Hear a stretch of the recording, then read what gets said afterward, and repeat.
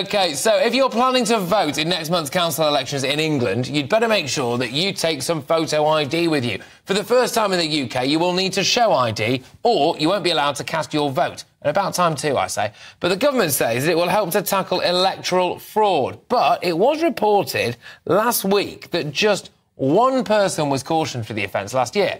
Senior Tory MP David Davis has criticised the new law. To discuss this further, I'm now joined by lecturer in British politics at the University of Liverpool, Dr. David Jeffrey, and political commentator Matt Stadlen. Good stuff. Okay. Um, right, I will start with. I'm just going to. I normally go ladies first, but I can't today, can I? I'm going to go with you, Dr. David, if that's all right. Do you think that people should be made to pack their ID if they want to vote?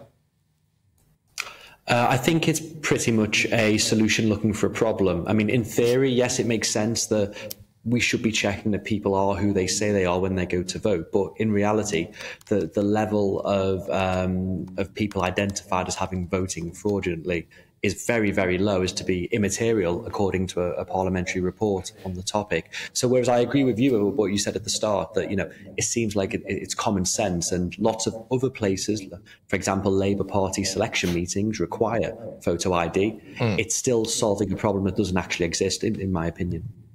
Uh, Matt, I'll, I'll bring it over to you now. I mean, if I need to show ID to buy a deck of fags at Tesco, surely it's reasonable for me to show an ID to vote. Yeah, I get, I get where you're coming from, Patrick. And on the face of it, it makes some sort of sense. The problem is that it will or might disenfranchise huge numbers of people. I was looking on online just before coming on air this afternoon, and I think eight million people in this country do not have a passport. Now, a passport is is one of the forms of ID that you can use to prove that you are who you are when you go to the vote from May onwards. There are plenty of others, and people should absolutely look them up because I want people to get out and vote. Whether you're voting Tory, Labour, whoever you want to vote for, it's almost a democratic duty to go and do that. So I'd encourage people to do that. The worry is there'll be plenty of people not watching this show. Mm. Breaking news. Sorry, Patrick. I'm sure there are lots who are, but there'll be people who aren't watching this show, who aren't reading the Mirror or the Guardian or whoever else is kicking up a, a stink mm. about this. My concern is that they won't get out to vote because, as your other contributor absolutely rightly said, mm. this isn't really a problem. This is a solution looking for a problem in a way. It's sort of turning things up, uh, upside down, and, and mm. that's my big concern. If you're being cynical about this, this is an mm. attempt by the Conservatives to drive down turnout because the sorts of people who might well, not have ID are more likely to be Labour supporters than they are Tory supporters. Well, why, why is that, Matt? Sorry, sorry, I will come back to you, David, but I want to know why is that more likely that it will be Labour voters who don't have ID? It's thought that people who are less well off, less privileged, are less likely to have a passport. That sort of makes some sort of sense. And it's thought, but I can't say this conclusively, it's thought that those people are more likely to be sympathetic towards left-leaning parties, mm. towards right. Labour, than they are to the Conservatives. That's what I've read. That's Whether the anecdote. That I get that. True, I, I, can't confirm. Well, this, but this is this is the problem, isn't it? Whether or not it's true. But I, I do understand. I, do, I get the logic behind that at least. So I, am preparing for the Twitter backlash already, Matt. But there we go. Uh, David, I'll, I'll, I'll, bring you in on this now. Look, uh, you mentioned before that maybe it was a, a solution looking for a problem. But isn't part of the problem that until we come up with a solution, we won't be able to identify it? By definition, voter fraud, you're not exactly going to be sitting there waiting to get caught, are you? Unlike, of course, the rather notorious case of Tower Hamlets.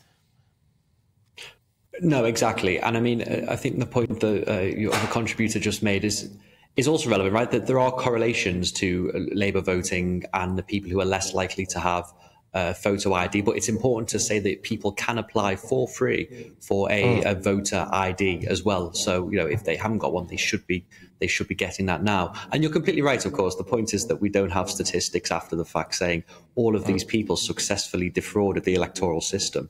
Um, I think, from my perspective, it would have been nice for the government to focus on other issues with the with the system that we have. So people who aren't on the roll, for instance, is a massive kind of gap in in our kind of political or electoral system. Mm. Um, but I'd like to see that if this is a system that we're going to go with, like they have in Northern Ireland, uh, that we do it properly. All right, Matt, I can see you're itching to get involved. Go on.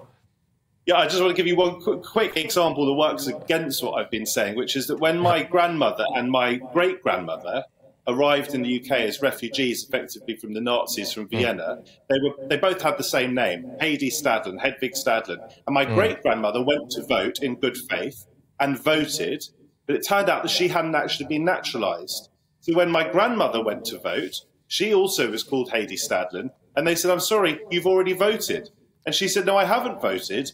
And it was because there were two Heidi Stadlens and only one of them was entitled to vote. And the wrong Heidi Stadlen had voted. And she'd voted for the Liberals, whereas my grandmother had wanted to vote for Labour. So she was very upset. I was going to say it wouldn't have been a problem if they both wanted to vote for the same party, but I imagine that was a that was a row uh, that, that, that, that erupted there. Uh, look, David, just final one to you on this one now. Some people might be saying, look, if you cannot be bothered to get a free voter ID, okay, and uh, then you're probably not going to want to vote anyway. So, so what's the point? I, I just feel like why should our political system run the risk of being rigged for the benefit of potentially lazy and or corrupt people, Dr. David? Can you see it from that angle? Um, I'm not sure I'd say corrupt, but I do think there's something to be said for the idea that you know people should people should get some form of ID uh, to vote. I think generally my sympathies are with you, right? I think it's something that we should have for, for confidence in the system rather than necessarily saying let anybody. When I was a student, for instance, I was offered, you know, they, they read out the names of the people registered at my house. I could have chose any of mm. them and then come back later. Um, so I do. I'd like to see this system put in. I'd like to see it done properly as well. But I think that means making the opportunities to get the voter ID much more widespread to the people okay. who, who are going to miss out. All right, both of you, thank you very, very much. Great stuff. That thoroughly enjoyed it. University of Liverpool's uh, British politics lecturer there, Dr. David Jeffrey, and political commentator Matt Stadlen as well.